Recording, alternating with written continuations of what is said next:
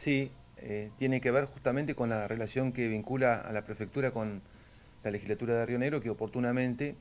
le donó a esta institución importantes terrenos en una zona cercana a la costanera de Viedma para la construcción allí de un edificio que eh, iba a tener primero un destino, pero bueno, ahora eh, estamos celebrando con alegría la noticia de la que hemos sido notificados, puesto que la prefectura argentina, que hace relativamente muy poco eh, creó tres regionales en todo, todo el país, ha decidido que la cabecera de una de estas regionales sea la ciudad capital de la provincia de Río Negro y que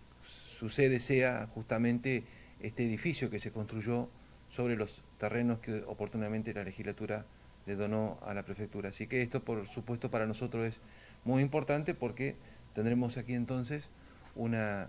eh, una de las tres regionales de prefectura que tendrá jurisdicción desde Mar del Plata hasta el extremo sur del país. Esto, en consecuencia, es una gran noticia que le agradezco al prefecto que eh, me la haya traído recién en nombre del prefecto general que tiene bajo su esfera la conducción de la Prefectura Naval Argentina. El hecho de que se haya elegido Viedma como punto de enclave de esta región, ¿a qué Miren, nosotros este, justamente estábamos hablando recién con el prefecto, son decisiones que evidentemente ha tomado la prefectura en función de necesidades operacionales que eh, técnicamente es la prefectura que tiene que, explicarlo. Me parece a mí que el hecho de que Viedma esté en un lugar eh, equidistante de todos los eh, puntos este, más extremos de la amplia región que comprenderá esta región con cabecera aquí en Viedma, tiene que ver con eso. Y por la infraestructura seguramente que este lugar tiene, y por tener este lugar el destacamento de prefectura más antiguo de la Argentina, el destacamento que tiene prefectura en el Río Negro,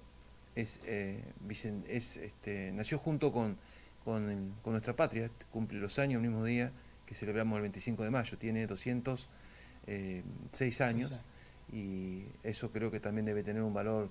importantísimo para esta institución que tiene los mismos años que nuestro país.